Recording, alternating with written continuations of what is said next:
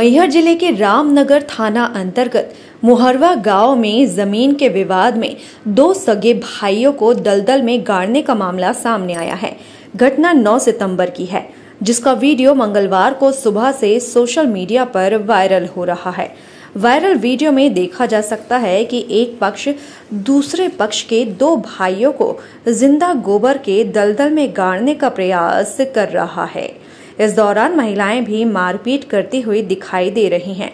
विवाद ज़मीन पर कब्जा करने से रोकने पर हुआ है। पुलिस ने बताया कि दोनों पक्षों के खिलाफ मामला दर्ज कर जाँच की जा रही है। बताया जाता है कि मुहरवा निवासी रामजी पटेल और राम नरेश पटेल एक ही परिवार के सदस्य और आपस में चचेरे भाई हैं।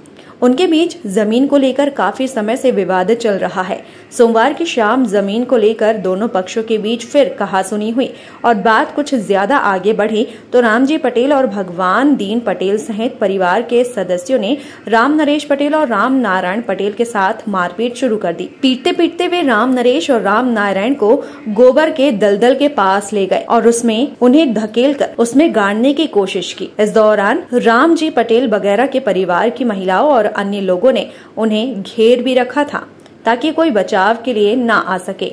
राम नरेश और राम नारायण के परिजन चीखते चिल्लाते रहे, लेकिन उन्हें आगे आने नहीं दिया गया। हालाँकि बाद में गाँव के कुछ अन्य लोग पहुँचे और उन्होंने दखल दिया, तथा रामनगर थाना पुलिस को सूचना दी। पुलिस पहुँची और दोनों पक्षों को थाना ले गई। बताया जाता है कि राम जी भगवान दीन का परिवार बड़ा है।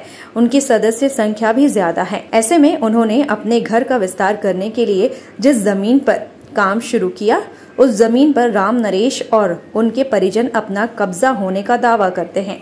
इस बीच सरपंच कालिका पटेल ने रोड प्रस्तावित की, बात की। इस बात को लेकर दोनों के बीच विवाद हुआ और जिसके बाद मामला यहाँ तक आ पहुँचा कि दो भाइयों को गोबर के दलदल में ज़िंदा गाड़ देने की कोशिश तक कर ली गई। ब्यूरो रिपोर्ट, टीम पलपल पल इंडिया।